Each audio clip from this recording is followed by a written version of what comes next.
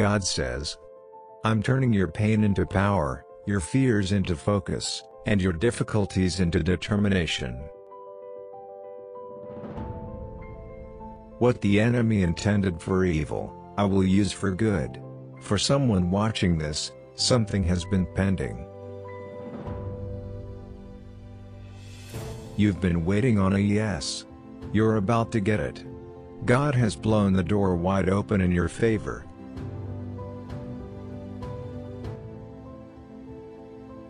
As an act of faith, He wants you to rejoice like you've already got it. Tell God, thank you. Don't believe the enemy's negative lies. Keep being faithful, keep moving forward, keep honoring God in all you do.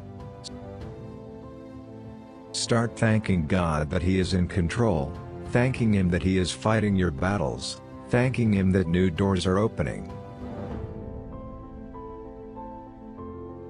Thanking Him that no weapon formed against you will prosper. Be content in the watering season. For the harvest is coming.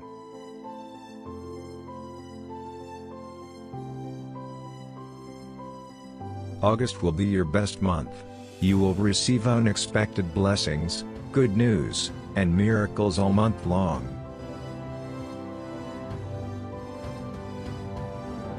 You will be happy again.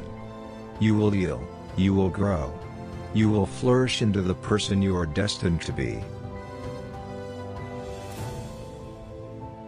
You will finally be at peace, you deserve it.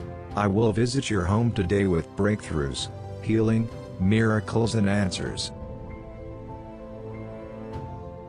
I am always with you, I love you my childs.